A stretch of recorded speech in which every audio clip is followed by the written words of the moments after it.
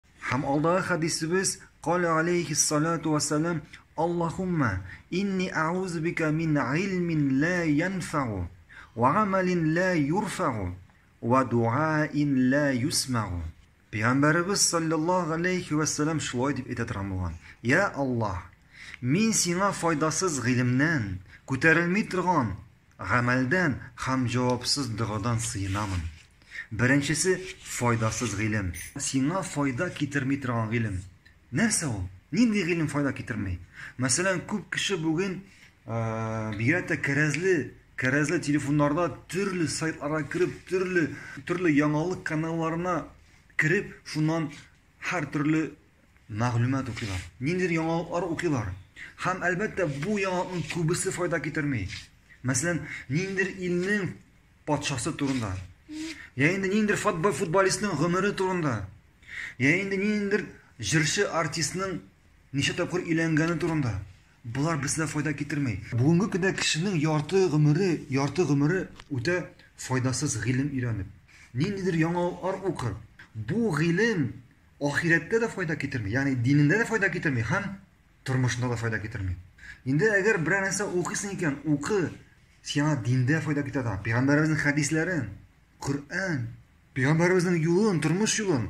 Әгәр инде дини гыйлем өйрәнә алмасаң, дөньяви гыйлем өйрән, дөньяви гыйлемнән файда ал. Чөнки ул синең дөньяңда файда китерәчәк. Һәм икенчесе пәйгамбәребез саллаллаһу галәйһи ва саллям дога кыла торган булган кабул булмый торган гамәлләрдән. Ягъни пәйгамбәребез саллаллаһу галәйһи ва саллям Аллаһка сыена торган булган кабул булмый торган гамәлләрдән. Нинди ул кабул булмый торган гамәлләр? А? Ягъни күтәрелми торган гамәлләр. Синең гамәлләрең Аллаһка күтәрелми, Аллаһ гамәлләреңне кабул кылмый. Моның сәбәбе бик күп. Иң беренче сәбәп нинди?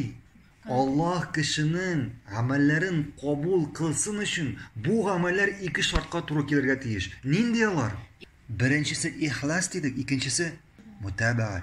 Ягъни кайчан син гамәлләреңне эшлисең бары тик Аллаһ ризалыгы өчен һәм кайчан синең гамәл кайчан син гамәлләреңне эшлисең, ничек аны пәйгамбәребез саллаллаһу алейхи пәйгамбәребез саллаллаһу алейхи ва саллям эшләгән.